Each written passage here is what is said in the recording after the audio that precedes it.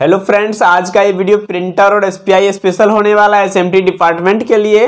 तो दोस्तों, आप लोगों को अगर मन में आ रही है प्रिंटर और एसपीआई से रिलेटेड किसी तरह की डाउट तो ये वीडियो आपके लिए काफ़ी हेल्पफुल होने वाला है। तो दोस्तों, अगर किसी तरह की आपको एसएमटी डिपार्टमेंट में किसी तरह की क्वेश्चन आपके मन में आए तो ज़रूर आप कमेंट कीजिएगा।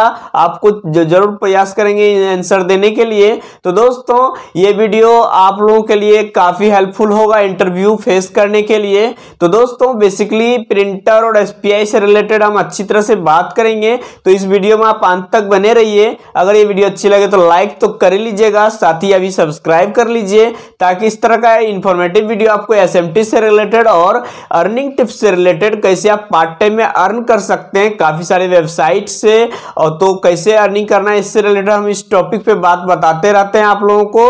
तो दोस्तों, इस वीडियो में अंत तक आप बने रहिए। आप देख रहे हैं R R J W Kushwaha YouTube channel अगर ये वीडियो अच्छी लगे तो दोस्तों लाइक कर लीजिए। तो बात करते हैं हम प्रिंटर की तो देखिए एसएमटी डिपार्टमेंट में जो सभी मशीन होते हैं एसएमटी प्रोसेस की, आप लोगों को बेसिकली पता ही होगा, लेकिन हम शॉर्ट में एक बार बता देते हैं। जिन लोगों को पता नहीं है, उन लोगों को भी पता चल जाएगा, और आप लोग नोट कर लिया कीजिए और ध्यान रखा कीजिए। और दोस्तों, आप लोगों के लिए हम वैसे कुछ वेबसाइट की लिंक दे देंगे एसएमटी की वेबसाइट की, जहाँ से आप लोग बिल्कुल हिंदी में आसानी से आसानी से आप लोग पढ़ सकते हैं एसएमटी डिपार्टमेंट के बारे में। और किसी तरह की दिक्कत आए तो ज़रूर हमें कमेंट कीजिएगा। तो फाइनली हम प्रोसेस की बात करें एस प्रोसेस की तो सबसे पहली मशीन होती है लोडर तो कुछ कंपनी में इसको दोस्तों इनपुट भी कही जाती है। लोडर के बाद जो सेकेंड मशीन होती है, वो प्रिंटर हो जाती है। जिसके बारे में इस वीडियो में पूरी तरह से चर्चा करेंगे। प्रिंटर के बाद एसपीआई होती है। एसपीआई को बोला जाता है शोल्डर पेस्ट इंस्पेक्शन यानी कि प्रिंटर मशीन पे जो शोल्डर पेस्ट मतलब लगाई जाती है उसका इंस्पेक्शन कौन करती है? एसपीआई के माध्यम से की जाती है। उसके बाद जो दोस्तों एसपीआई के बाद आ जाता है एनएक्सटी एनएक्सटी जो होती है एक कंपनी का नाम है। एनएक्सटी कंपनी है, कोई मशीन का नाम नहीं है। इसका जो मेन मशीन का जो नाम है एनएक्सटी के नाम से ही चर्चा की जाती है, लेकिन मशीन का नाम है पिक एंड प्लेस मशीन कई जगह इस मशीन को माउंटर भी बोले जाते हैं। तो आप लोग कंफ्यूज मत होइएगा एनएक्सटी माउंटर और पिक एंड प्लेस मशीन तीनों एक ही मशीन को कही जाती है। एनएक्सटी के बाद जो आती है आ, हम बात करें तो बहुत सारी जगह प्री ए होती है 90 परसेंट कंपनी में प्री ए होती है। यानी कि जो ए का मतलब होता है ऑटोमेटिक ऑप्टिकल इंस्पेक्शन यानी कि रिफ्लो से पहले मतलब प्रीवाई करने के लिए, करने के बाद जो कोई डिफेक्ट अगर कंपोनेंट में आती है तो वो इजिली रिपेयर हो जाती है। तो आप लोग कंफ्यूज मत होइएगा डिफेक्ट तीन जगह आते हैं माउंटिंग लाइन पे।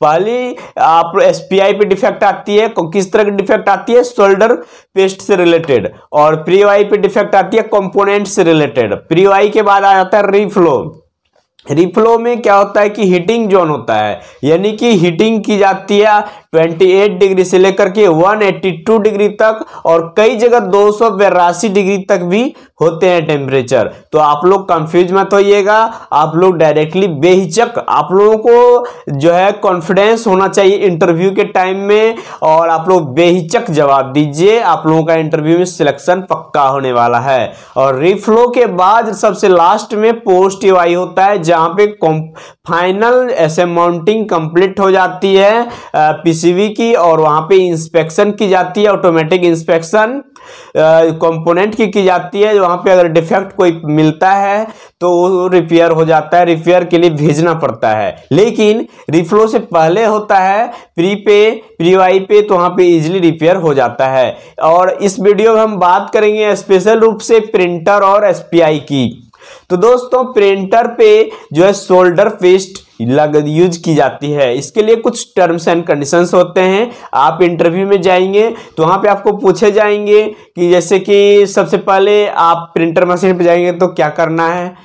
तो वहाँ पे एस्टेंसिल होती है, जिसके माध्यम से शोल्डर पेस्ट प्रिंट होती है। आप लोग कई बार देखे भी होंगे, हम वैसे पिक दे दिए, आप लोग देख सकते हैं इस तरह की एस्टेंसिल होती है। कई कंपनी में इससे डिफरेंट भी होती है। इस एस्टेंसिल को क्लीन करने का प्रोसेस होता है, साफ़ करना पड़ता है। क्लीनिंग रूम होते हैं कई जगह और कई जगह नहीं भी होते हैं। तो उसको क्लीन करने का शोल्डर पेस्ट आपको मंगवानी पड़ती है।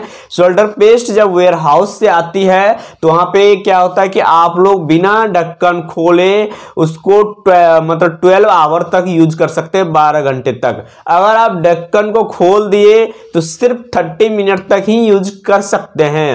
और जो उसके बाद ढक्कन खोलने के बाद शोल्डर पेस्ट जो होता है, उसको मिलाना पड़ता है। मिलाने के लिए कई बार आपको पूछे जाएँगे कि किस चीज़ से मिलाते हैं। जो मिलाने वाला होता है ये तो इसका नाम है एस्पेचुला।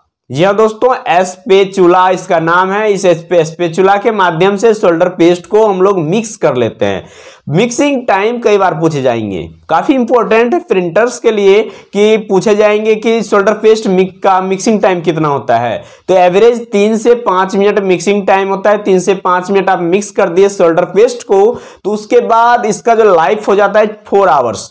यानी चार घंटे तक इस शोल्डर पेस्ट को यूज़ कर सकते हैं। चार घंटे से अगर ज़्यादा हो गया तो इस शोल्डर पेस्ट को बिल्कुल भी यूज़ नहीं कर सकते हैं। लेकिन बिना शोल्डर पेस्ट को मिक्स किए हुए आप आधे घंटे तक यही यूज़ कर सकते हैं। जब मिक्स कर दिए तो चार घंटे तक यूज़ कर सकते हैं। अगर ढक्कन नहीं खोले तो बारह घंटे तक यूज़ कर सकते हैं। तो ये शोल्डर पेस्ट के कुछ rules and terms and condition हैं। कई सारे जगह सेम रूल्स चलते हैं। नाइन्टी कंपनी में और टेन में डिफरेंट डिफरेंट भी हो सकती है, लेकिन आप इंटरव्यू के लिए गए हैं तो आप बिल्कुल कॉन्फिडेंस के साथ बोलेंगे तो आपकी सिलेक्शन पक्की है। तो हम बात करें एसपीआई की। जो शोल्डर पेस्ट हम लोग अभी लगाए मशीन में और ये मशीन जो है स्टेंसिल के माध्यम से बोर्ड के ऊपर प्रिंट कर दी शोल्डर पेस्ट अब ये बोर्ड कॉन्वेयर बेल्ट के माध्यम से आगे की ओर जाती है और एसपीआई पे चली जाती है। एसपीआई पे होती क्या है? यह मशीन है और ये शोल्डर पेस्ट को इंस्पेक्शन करती है। इंस्पेक्शन करके आ, इसका फॉक्स कॉल लेकर के आपको डिस्प्ले पे भेजेगी। वहाँ पे गुड और बैड इस तरह से आपको डिस्प्ले होगा।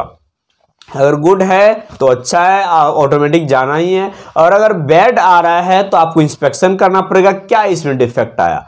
तो कॉमनली आपको क्वेश्चन एसपीआई से यही पूछे जा सकते हैं। आठ से दस मुख्य रूप से यहाँ पे डिफेक्ट आते हैं, लेकिन आपको पूछे जाएँगे यहाँ पे कॉमनली ज़्यादातर मुख्य रूप से किस तरह का कौन कौन सा डिफेक्ट आते हैं एसपीआई के ऊपर। तो आपको ध्यान में रखना है एसपीआई पे जो भी डिफेक्ट आता है, वो शोल्डर फेस्ट से रिलेटेड डिफेक्ट ही होता है।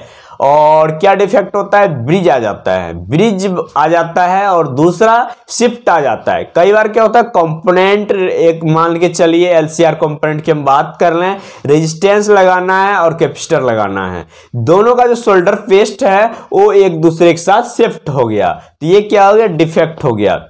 तो ये मुख्य रूप से ब्रिज और शिफ्ट डिफेक्ट आते हैं और इसके बाद की हम बात करें तो कई बार क्या होता है, लेस शोल्डर आ जाता है। यानी कि जिस मात्रा में लगाना था शोल्डर पेस्ट, ले उससे कम हो गया, लेस हो गया।